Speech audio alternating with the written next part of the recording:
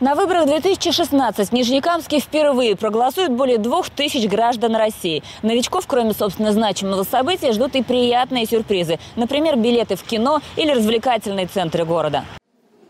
Впрочем, и для тех, кто в выборах участвует не первый раз, готовят много интересного. Концертные программы, торговля на каждом избирательном участке. Всего их в Нижнекамске 81, в районе 33. Их адрес вы сможете найти на сайте НМР.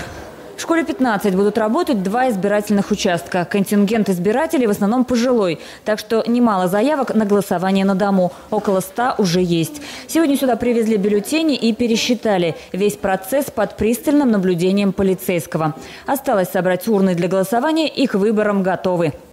Исходя из опыта, я переживаю только за погоду. То есть те люди, которые соберутся уехать на дачный участок, лишь бы они сначала проголосовали, потом поехали или наоборот. И э, последний момент, за что я беспокоюсь, это значит все-таки у нас сейчас немножко изменили в законодательстве, э, кое-какие есть. Это у нас немножко полномочия другие есть. Мы раньше могли при нарушении в зале голосования или еще что-нибудь принимать меры экстренно сами, то сейчас это все делается через суд. И вот именно организация этого процесса, но я все-таки надеюсь, что такого не будет. И предыдущие выборы показывали, что фу -фу -фу, у нас все было нормально. На 1 января в Нижнекамске зарегистрировано более 173 тысяч избирателей. И, судя по всему, большинство собирается выполнить свой гражданский долг. Обязательно пойдем. Обязательно. Выборы есть выборы.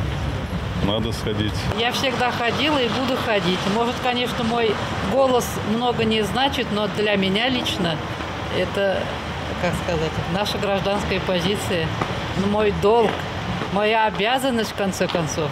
Я обязательно пойду. Просто долг как обязанность, поэтому должен пойти и схожу. Сказать честно, не больно ничего поменяется. Ну, конечно, надеюсь. Выборы пройдут по смешанной системе. Из 450 депутатов 225 будут избраны по единому федеральному округу, а еще 225 по одномандатным округам.